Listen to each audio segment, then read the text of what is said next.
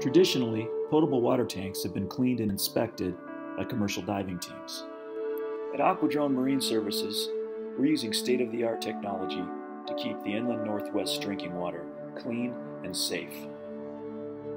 Using a remote operated vehicle with an attached vacuum head, we can effectively and thoroughly eliminate dangerous sediment buildup from your potable water tanks, eliminating the risk of sending a diver into a confined space, let alone your drinking water something that could be potentially dangerous or even harmful to your water supply.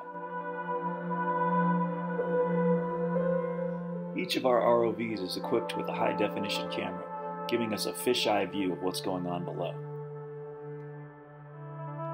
And when the cleaning's done, our 330 degree angle cameras don't miss an inch.